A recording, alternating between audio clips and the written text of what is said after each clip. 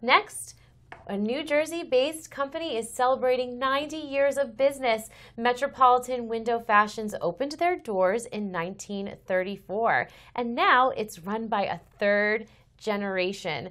Bruce Heyman, owner of Metropolitan Window Fashion, joins us now. Good morning, Bruce. Hi, Dina. Thank you so much for being in studio with us. This is really exciting. what a great way to celebrate. so, your grandfather, Philip Heyman, founded the business in 1934 in Plainfield. So, tell us about how the business changed over the decades.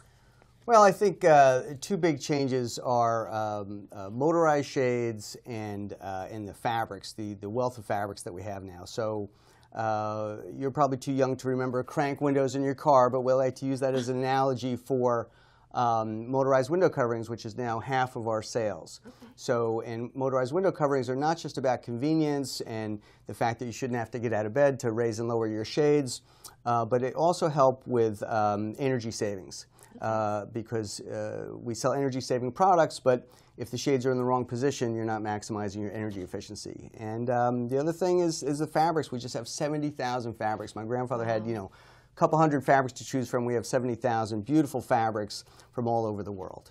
So now you're third generation mm -hmm. owner. How did you get into the family business? You know, I did not go into the business right out of college. So actually, I worked in New York City for about eight years. I was in the travel industry.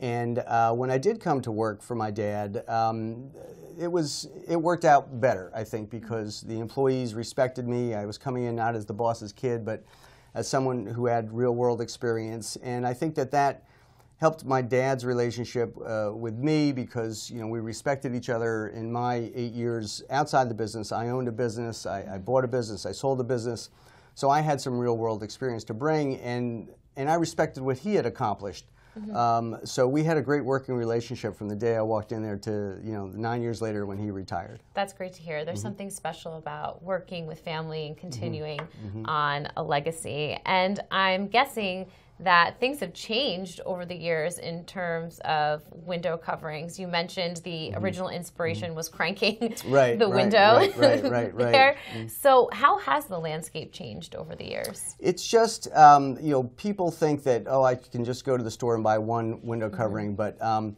it's really a layered approach now. And um, so we consider the shades and blinds to be the privacy layer, privacy and light control.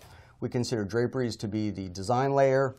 And in both of those elements, shades and blinds or draperies uh, bring insulation, they bring uh, sound absorption depending on you know, what products you buy.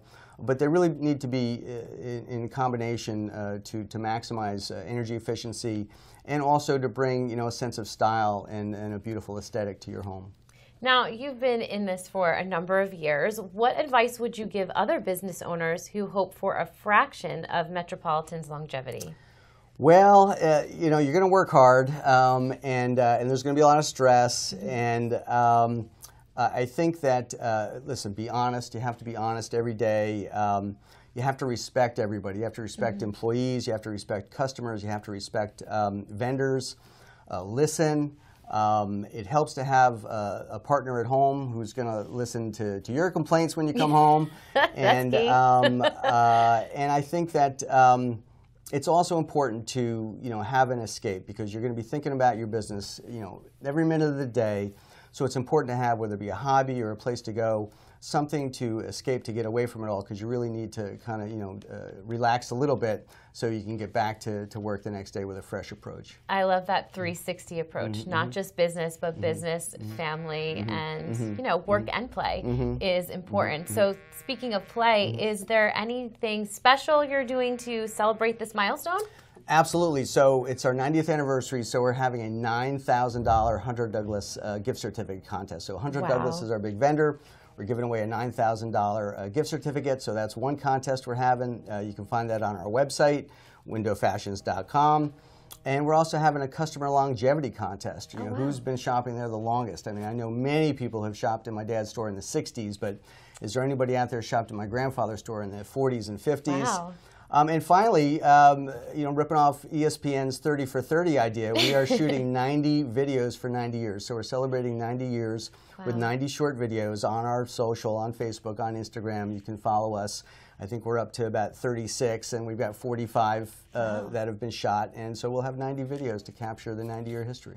That's amazing. You certainly have a lot for customers to look forward to. Mm-hmm. I got to sign up for that $9,000 sweepstakes there. You can do that. sure. Bruce, thank you so much for joining us Mm-hmm. this morning and congratulations on such a wonderful milestone. Thank you, Dina. Up next, we talk to a New Jersey author